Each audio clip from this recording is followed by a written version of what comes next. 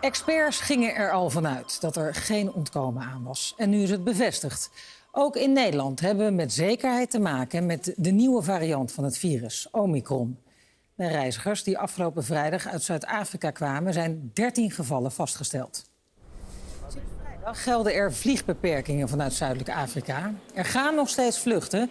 Mensen met een Nederlands paspoort kunnen naar Nederland vliegen. Hetzelfde geldt voor andere EU-burgers die op doorreis zijn. We vragen aan iedereen die in Zuidelijk Afrika is geweest in de afgelopen week om zich te melden bij de GGD en zich te laten testen. Uh, en daarnaast bezien we of aanvullende reismaatregelen noodzakelijk zijn. Daarover zal het RIVM ons adviseren. Waar denkt u dan aan? Nou, daarover zal het RIVM ons adviseren, maar ik wil daarin wel samen optrekken ook met de Europese collega's. Voor iedereen die terugkomt uit een risicogebied geldt op dit moment al een quarantaineplicht. En ik praat verder met Gerry Eikhoff op de redactie. Ja, veel is nog onbekend over deze nieuwkomer. Wat weten we wel? Nou, volgens het RIVM is het inderdaad vrijwel zeker dat de Omicron-variant besmettelijker is, veel besmettelijker is dan de Delta-variant. Maar daartegenover staat de hoop dat die misschien minder ziekmakend is. Vanuit Zuid-Afrika zijn daar een paar aanwijzingen voor. En hebben ze al een idee of de vaccins die we nu hebben, of die even goed werken tegen deze variant? Daar is het toch eigenlijk nog te vroeg voor. De praktijk zal dat moeten leren. Maar er zijn wel al computeranalyses gemaakt van de Omicron-variant.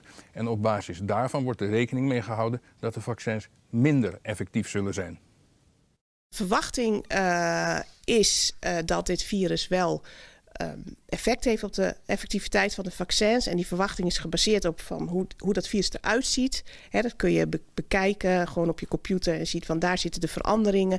En van die veranderingen weten we wat het doet. Dus de verwachting is dat er uh, verminderde effectiviteit is. Maar het is altijd afwachten of dat ook daadwerkelijk zo is. Dat moet echt uit de praktijk blijken.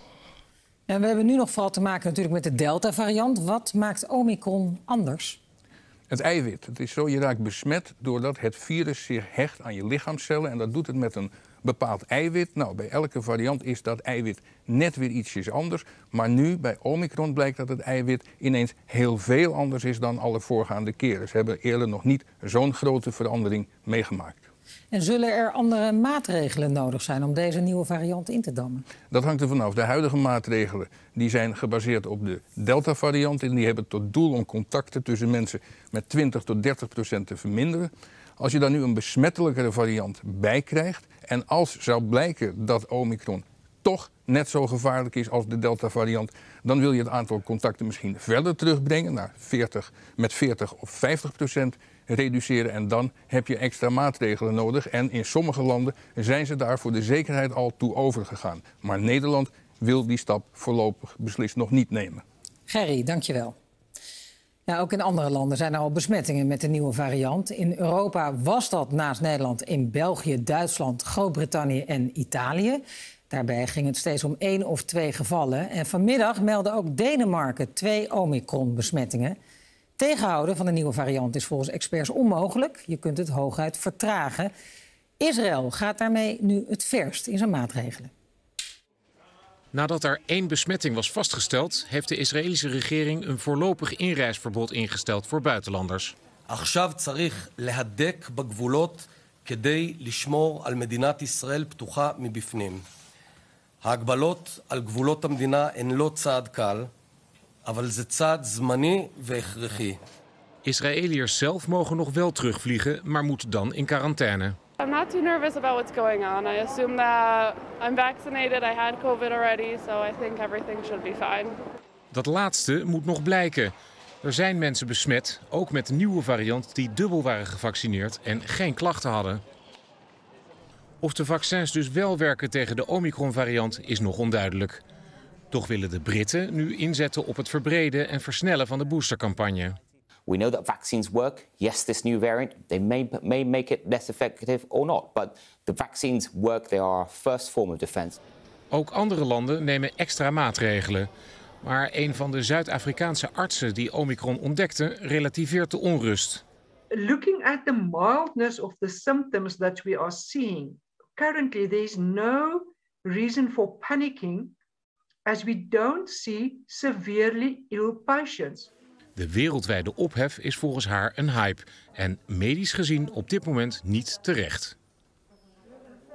En dan gingen vandaag ook nog de nieuwe maatregelen in. Aan het begin van de avond ging Nederland weer op slot. Om vijf uur moesten onder meer horeca, sportscholen, theaters de deuren sluiten. De maatregel duurt zeker drie weken. In Utrecht werden op de valreep nog wat laatste inkopen gedaan. Ja, jammer. Ja. Het is even niet anders, maar uh, ja, wel zuur. Ja, voor de winkels denk ik wel nog het minst erg. Want ja, die mochten toch maar tot 7 uur open zijn, dus die twee uurtjes. Maar voor wie is het dan erg? Ja, voor de horeca. Ja. Veel erger. Ook hier begint het opruimen al vroeg. De laatste glazen gaan leeg en iedereen moet naar huis om te eten. Jammer, ja, maar... Hij uh, smaakt er wel. Ja. Ja, dat wel. Ja. Dat biertje? Ja, ja, ja. Nee, ja, gewoon jammer dat, uh, dat je weer gewoon niks kan. Maar ja. dat, dat is het. Ja. Als het moet, dan moet het. Mm -hmm. Morgenochtend om 5 uur mag de stad weer open. Bij veel mensen slaat de moedeloosheid toe. Weer nieuwe maatregelen, weer geen zicht op een weg uit deze crisis. Het leidt ook tot discussie over de maatregelen zelf. Zijn ze zinvol? Zijn ze terecht? En over vaccineren, of het een vrije keus moet blijven. Mensen lijken meer en meer tegenover elkaar te staan. Hoi. Hoe is het hier? Ja, goed. Ja. Ook in Dordrecht slaat de moedeloosheid toe, merkt ook de burgemeester. De meeste mensen hebben echt wel begrip voor het feit dat er nu iets nodig is. Maar er zijn natuurlijk ook mensen die, ja, toch, uh, die toch moedeloos van deze situatie worden. En daar heb ik ook begrip voor. Hoi. De burgemeester merkt ook dat sommige mensen elkaar de schuld geven van de situatie. Ja, en ik zou willen oproepen, doe dat niet. Het virus is onze vijand. Uh, laten we met elkaar de schouders eronder zetten. Het heeft heel weinig zin om met de vinger naar elkaar te wijzen. Luisteren, daar begint het mee. Uh, en elkaars mening respecteren. Het zijn vooral de woorden die soms gebruikt worden, zegt deze gezondheidspsycholoog, die olie op het vuur gooien. Een schuldige voorbeeld misschien is wel vaccinweigeraar. Uh, het klinkt heel, heel gewoon en het wordt ook heel vaak gebruikt, onschuldig gebruikt. Maar het zet toch een hele grote groep mensen weg als asociaal. En het is ook schadelijk voor de andere groep, de groep van gevaccineerden, omdat het mensen bozer maakt. Hallo, met Rinske van der Goor van de huisartsenpraktijk. Deze huisarts ziet online of in talkshows coronadiscussies, maar in haar eigen spreekkamer hoort ze vooral genuanceerde meningen. Het lijkt in de media alsof alle gevaccineerden de ongevaccineerden slecht vinden en vinden dat die geen recht hebben op zorg. En het lijkt alsof alle ongevaccineerden uh, die worden weggezet als wappies. Terwijl de meeste gevaccineerden die gunnen iedereen een plek in het ziekenhuis. En de meeste ongevaccineerden die hebben gewoon persoonlijke twijfels, maar snappen heel goed dat mensen zich wel laten vaccineren. Wat de meeste mensen in ieder geval met elkaar gemeen lijken te hebben, is de moedeloosheid. Het feit dat we nu weer voor een nieuw pakket maatregelen staan en we weer een, een, een nieuwe stap met elkaar moeten zetten, dat dat ook iets verbindends is.